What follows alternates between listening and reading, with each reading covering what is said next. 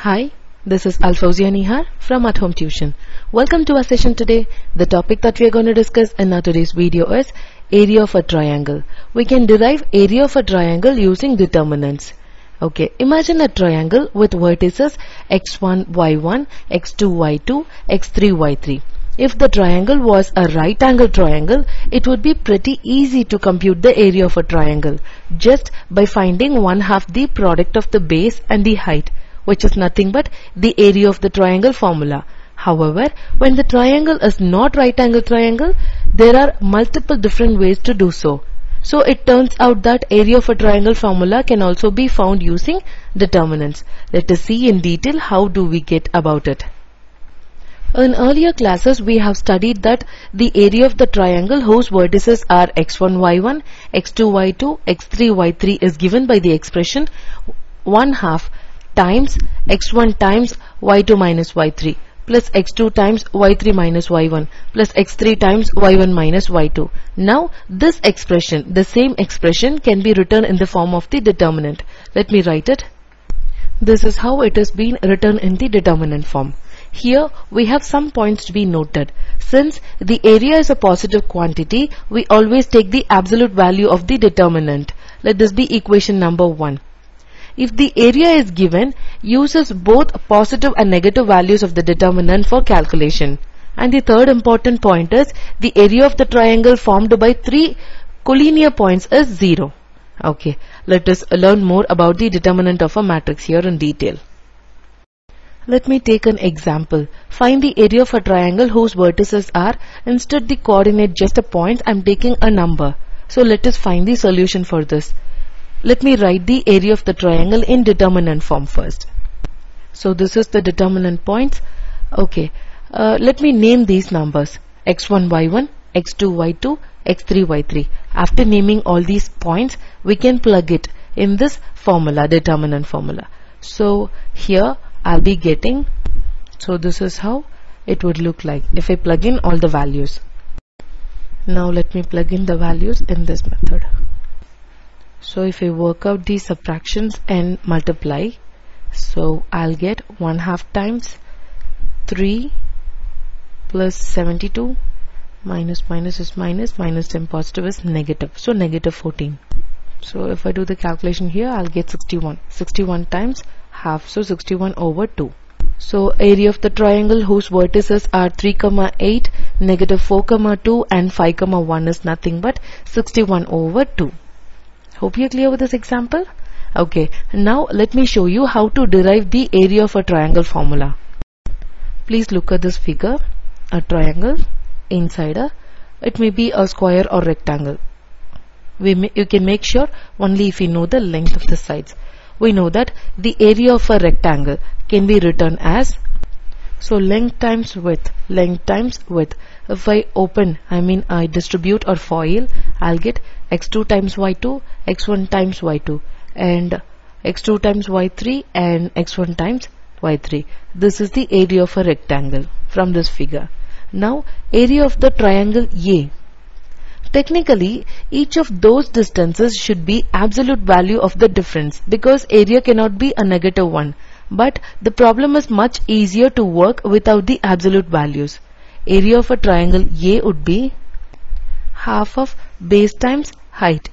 So if I FOIL, I'll get the same thing, half times the area of the rectangle. Okay, now please look at this figure. Area of the triangle C. For that reason, caution should be exerted to always make the final answer non-negative. Area of the triangle, after all, can't be negative. Now, let me write the area of the triangle C. Same concept half, half times base times height. So if I do the FOIL, I'll get this.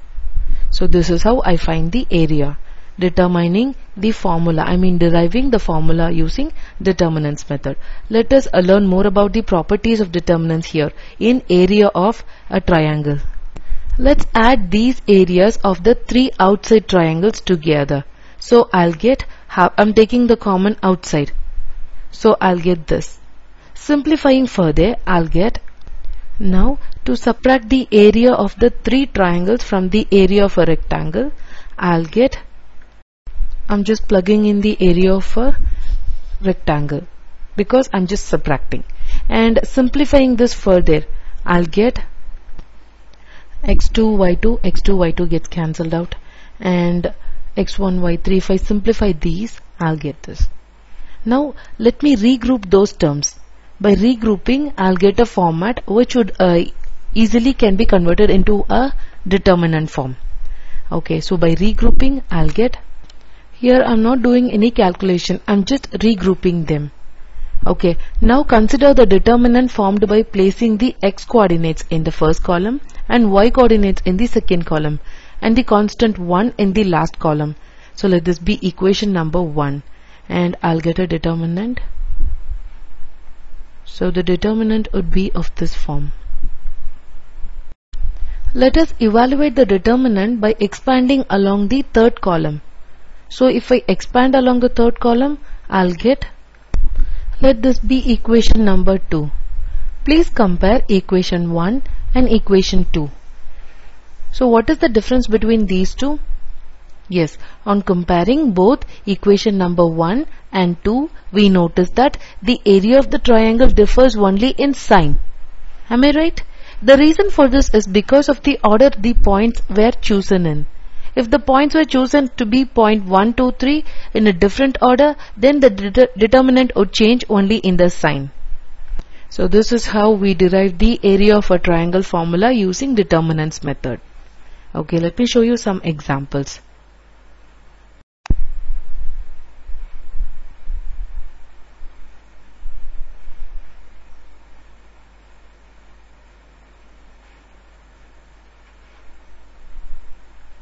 Here is the next example. Please read the question.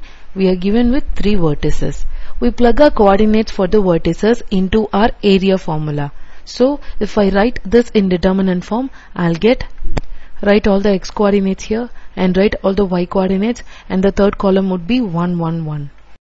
So and it continues with half times negative 2 times 3 so if I expand I'll get this now I have to work out this one so you have to cross multiply and place a negative sign in between. So I'll get let me now do the calculation. The dots are the products here. So if I work out I'll get half times. So 3 minus 1 times negative 2 so negative 6 same way 1 minus 3 times negative 2 so 1 minus 3 and times negative 2 so I'll get positive 4 and here 0 minus 9 times 1 so negative 9 so finally negative 11 over 2 which is nothing but negative 5.5. I have shown you all these steps here how to expand a determinant and then I have shown the calculation part too. So this is how we find the area of a triangle when the vertices, three set of vertices are given. And here we received a negative value for A and we know that area cannot be negative. Therefore, we must take the absolute value for A. Am I right? So absolute value of negative 5.5 is nothing but 5.5. So please make sure you take the absolute value in order to avoid the negative answers because we all know that the area cannot be a negative one.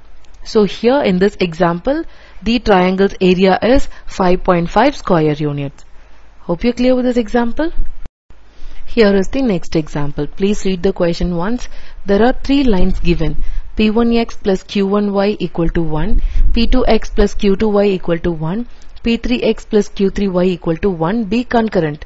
Then you should check whether these points form a scalene triangle or equilateral triangle or you should check whether these three are collinear or they just form a right angle triangle. These are the four options. So let me do the solution. We have got three equations. You can uh, set this and also it is mentioned that the lines are concurrent. So you can set all these into a determinant form and equal to 0.